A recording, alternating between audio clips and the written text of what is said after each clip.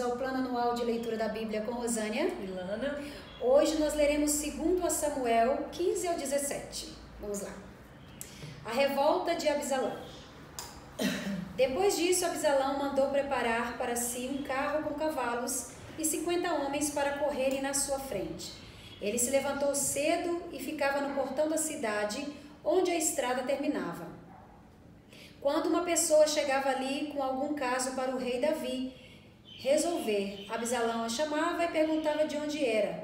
E quando a pessoa respondia, Senhor, eu sou de tal tribo de Israel, Abisalão dizia: Olhe, a lei está do seu lado, mas não há um representante do rei para ouvir o seu caso. Absalão também dizia: Ah, se eu fosse o juiz daqui. Então qualquer pessoa que tivesse uma questão ou um pedido poderia me procurar e eu faria justiça.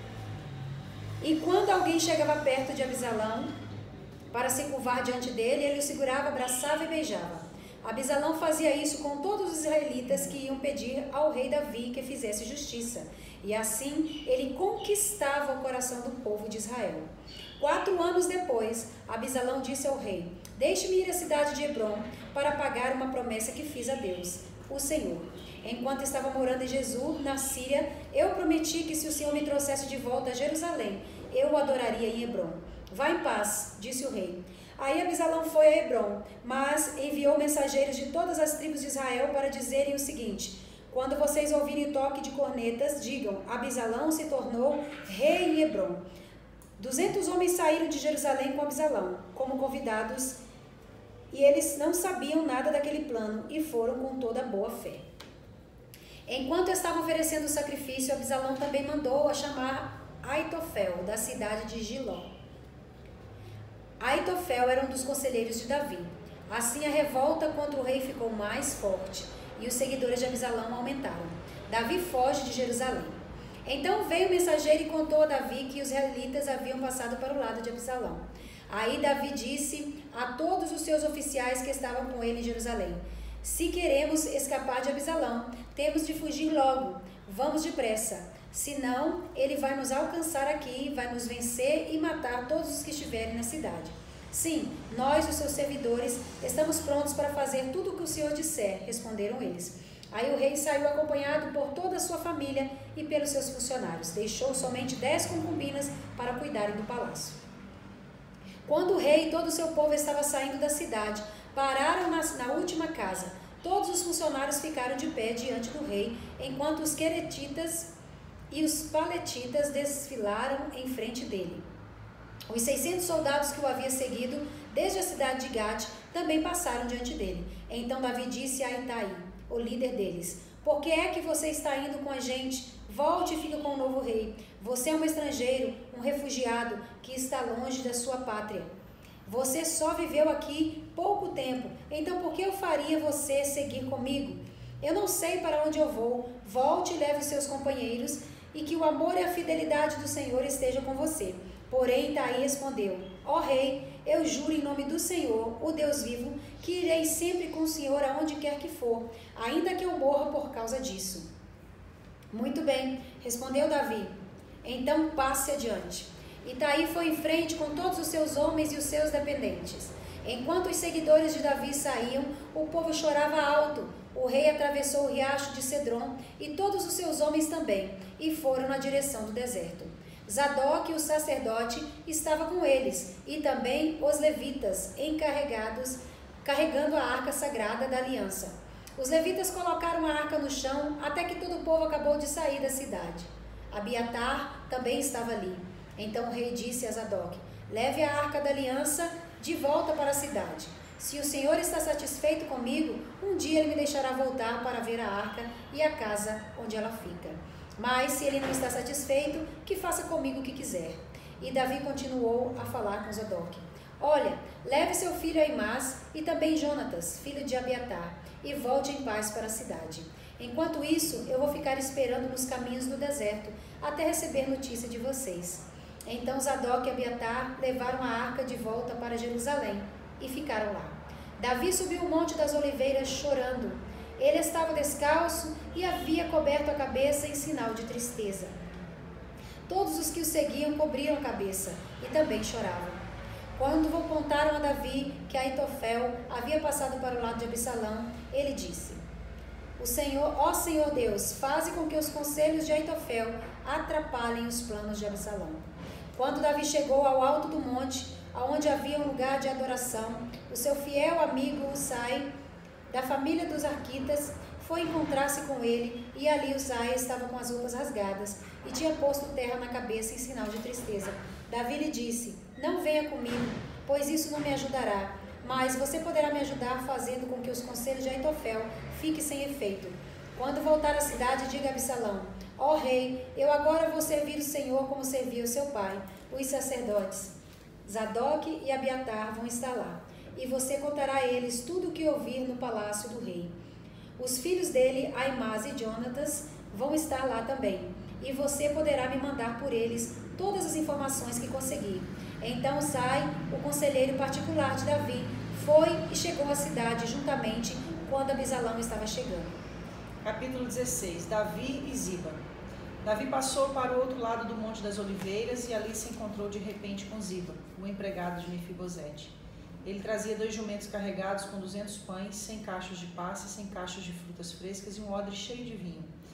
Então o rei Davi lhe perguntou: O que você vai fazer com tudo isso? Ziba respondeu: Os jumentos são para a família do rei montar, o pão e as frutas para os homens comerem, e o vinho é para eles beberem quando ficarem cansados no deserto. Onde está Mefibosete? O neto do seu patrão Saul, perguntou o rei. Ziba respondeu: Ele ficou em Jerusalém porque está convencido de que agora os israelitas vão devolver a ele o reino do seu avô Saul. O rei disse a Ziba: tudo que era de Mefibosete é seu, Ziba respondeu. Eu me curvo diante do meu rei e senhor, e que eu sempre possa agradá-lo. Quando o rei Davi chegou à cidade de Baurim, Simei, filho de Gera, um dos parentes de Saul, foi encontrar-se com ele e começou a amaldiçoá-lo. Simei começou também a jogar pedras em Davi e nos seus oficiais, apesar de o rei estar rodeado pelos seus homens e pelos guardas pessoais. Ele amaldiçoou Davi e disse: Fora daqui, assassino, criminoso, você tomou o reino de Saul. O Senhor Deus está castigando por você ter matado tantas pessoas da família de Saul. Agora Deus entregou o reino ao seu, seu filho Absalão e você está arruinado, seu assassino. Então Abisai, cuja mãe era Zeruia, disse ao rei: que o Senhor permite que este cachorro o amaldiçoe? Deixe que eu vá lá cortar a cabeça dele. Você não tem nada com isso, respondeu o rei Abisai ao seu irmão Joab. Se foi o Senhor Deus quem mandou que este homem me amaldiçoasse, quem tem direito de perguntar por que, que ele está fazendo isso? E Davi disse a Abisai e a todos os seus oficiais: Se meu próprio filho está tentando me matar, por que eu ficaria admirado se este membro da tribo de Benjamim quisesse fazer o mesmo? Deixe esse homem em paz. Deixe que ele amaldiçoe, porque foi o Senhor quem o mandou fazer isso. Pode ser que o Senhor olhe para a minha aflição e me dê algumas bênçãos em lugar destas maldições. Então Davi e os seus homens continuaram seu caminho. Simei também ia ao lado caminhando pelo monte, amaldiçoando e jogando pedras e terra em Davi. O rei e todos os seus homens chegaram muito cansados ao Rio Jordão e descansaram ali. Absalão em Jerusalém.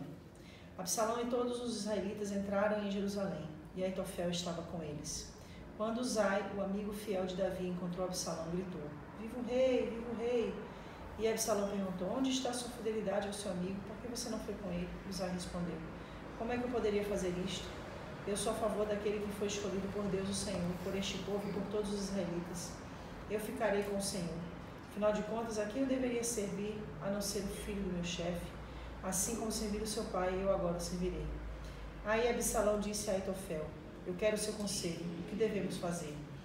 Aitofel respondeu, tenha relações com as concubinas do seu pai, aquelas que ele deixou cuidando do palácio.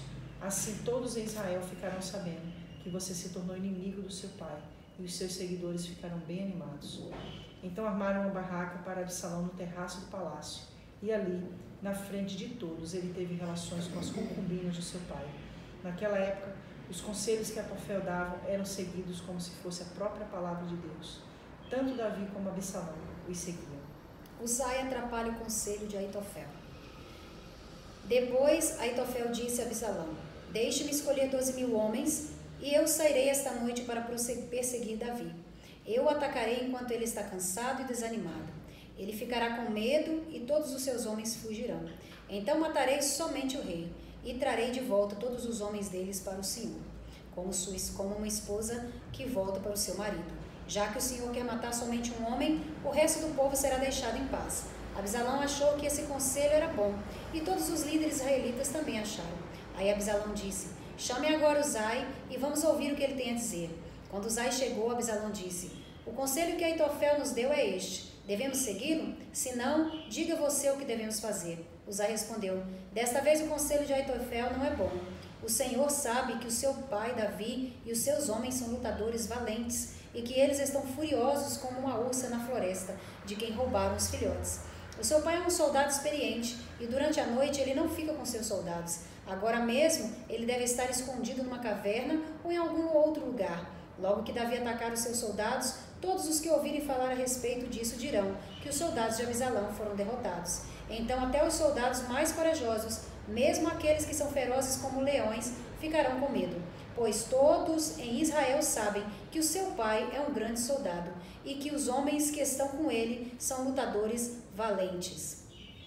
O meu conselho é que o Senhor reúna de uma ponta a outra do país todos os israelitas, tantos quantos são os grãos da areia da praia do mar, e que o Senhor mesmo os guie na batalha. Onde quer que Davi estiver, nós o encontraremos antes mesmo que ele saiba o que está acontecendo. Assim, nem ele nem nenhum dos seus homens escaparão. Se ele fugir para dentro de alguma cidade construída no morro, todo o nosso povo trará corda arrastará a cidade e não deixará nenhuma pedra lá em cima. Aí Abisalão e todos os israelitas disseram: O conselho de Uzai é melhor do que o de Aitofel. O Senhor Deus havia resolvido que os bons conselhos de Aitofel não seriam seguidos, para que assim o castigo do Senhor caísse sobre Absalão. Davi é avisado e foge. Então Uzai contou aos sacerdotes Zadok e Abiatar o conselho que tinha dado a Abisalão e aos líderes israelitas, e também o conselho que Aitofel tinha dado, e disse: Agora mandem depressa uma mensagem a Davi, dizendo que ele não passe a noite nos caminhos do deserto, que Davi atravesse o rio Jordão imediatamente, para que ele e seus homens não saiam todos destruídos. Jonatas e Aimás estavam esperando perto da fonte de Rogel, porque não queriam se arriscar a serem, a serem vistos entrando na cidade. Uma empregada ia lá de vez em quando e informava sobre o que estava acontecendo. Então eles iam contar ao rei Davi. Mas desta vez um rapaz os viu e contou a Absalão. Então Jonatas e Aimás foram depressa para a casa de um certo homem, na cidade de Baurim. Havia um poço perto da casa, e eles entraram dentro dele. A esposa do homem pegou uma coberta, estendeu sobre a boca do poço e em cima dela espalhou cereais socados para que ninguém pudesse perceber nada. Os oficiais de Abisalão chegaram lá e perguntaram à mulher: Onde estão Aimais e Jonatas? Ela atravessou, eles atravessaram o rio, respondeu ela. Aí os homens os procuraram, mas não conseguiram achar. Então voltaram para Jerusalém. Depois que eles foram embora, Aimás e Jonatas saíram do poço e foram avisar o rei Davi. Contaram que Aitofel tinha planejado contra ele e disseram: Atravesse o rio depressa. Então Davi e os seus homens começaram a atravessar o rio Jordão. E ao nascer do dia, todos eles já estavam atravessados. Quando Aitofel viu que o seu conselho não tinha sido seguido, arreou o seu jumento e voltou para a sua cidade. E depois de pôr, de pôr os seus negócios em ordem, enforcou-se. E foi sepultado no túmulo do seu pai. Quando Abisalão e seus soldados atravessaram o rio Jordão, Davi já havia chegado à cidade de Manaim. Absalão tinha colocado Amasa no comando do seu exército, no lugar de Joabe. Amasa era filho de um homem chamado Itra, o ismaelita. A mãe dele era Abigail, filha de Naás, irmã de Zeruia, a mãe de Joabe. Absalão e os israelitas acamparam na terra de Gileade. Quando Davi chegou a Manaim, encontrou-se com Sobe, filho de Anás, na cidade de Rabá, em Amon, com Maquir, filho de Amiel, da cidade de Lodebar e com Barzilai, que era da cidade de Rogelim, em Gileade. Eles levaram bacias, vasilhas de barro, camas e também alimentos para Davi e os seus homens. Levaram também trigo, cevada, farinha, feijão, grãos torrados, ervilha, mel e queijo, coalhada e algumas ovelhas. Eles sabiam que no deserto Davi e os seus homens ficariam com fome, com sede e cansados. Glória a Deus. Bem, eu não vou fugir do que eu falei ontem, não. Eu vou continuar na mesma linha. Essa passagem aqui, olha, quando Simei fica amaldiçoando Davi, capítulo 16, versículo 5, é, Simei fica amaldiçoando Davi, jogando pedra nele. Aí os guardas de Davi perguntam, né? Os, os soldados de Davi perguntam: Você quer que eu vá lá mate ele? Aí, olha que interessante. É, Vocês não ele têm nada a ver responde o com versículo isso. 10, Vocês não têm nada a ver com isso, respondeu o rei Abisai e o seu irmão Jo- Joabe. Se for o Senhor Deus quem mandou que este homem me amaldiçoa- amaldiçoasse, quem tem o direito de perguntar por que é que ele está fazendo É isso? um Meu reconhecimento, né? discernimento. Diante da sua responsabilidade na colheita, né? Ele reconhecia a Foi responsabilidade. isso que você escreveu aí? Foi. Eu botei aqui, ó, discernimento no tempo da sua colheita. Ele discerniu Mesma coisa, Ele discerniu o tempo da colheita dele. Ele estava entendendo. Porque já havia passado mais de 10 anos desde que tudo tinha acontecido. Entendeu? Então, assim, o sentimento Já tinha talvez. mais de quanto tempo? quase 10 anos já que tudo tinha acontecido. Então eu imagino que na mente de, de Davi pode. Não sei se, se, eu, se eu poderia afirmar isso, mas vamos trazer isso então para nossa mente. Quando passa muito tempo, a gente pensa que esqueceu, que nada vai acontecer, que Deus passou por cima daquilo, e é o que eu sempre digo, né? É, o, o, o reino muito espiritual é próspero, não, não existe semente que você Sempre plante que ela não vem, vai né? Em algum tempo vai Isso, vir. a conta sempre vem e ele entendeu aí- isso. Ele É era, ele era um isso. homem realmente fantástico, né? Fantástico. Agora eu acho interessante a questão do Aitofel. Não sei se você sabe, capítulo 15 de 2 Samuel, né, no versículo 12, fala Aitofel era um dos conselheiros de Davi. Aitofel, ele é, ele é considerado Judas do Antigo Testamento. E aqui ele era, diz que a palavra dele era considerada como a palavra a de palavra de Deus. Deus, né? Porque ele era um conselheiro Muita, ele tinha muita moral, né? Sim. Só que aí ele se voltou contra Davi. E por que, que ele se voltou contra Davi? Porque ele era da linhagem de. Oh meu Deus, do homem que Davi matou, que era marido de Betseba. Ah, ah, nossa. Esqueci o nome do. Não, agora tem que descobrir. Vamos lá, capítulo 11. Ah, Na- não, não, Natan é o profeta. Quem vai encontrar primeiro? Urias. Urias, isso aí, Urias. Ele era da linhagem de Urias.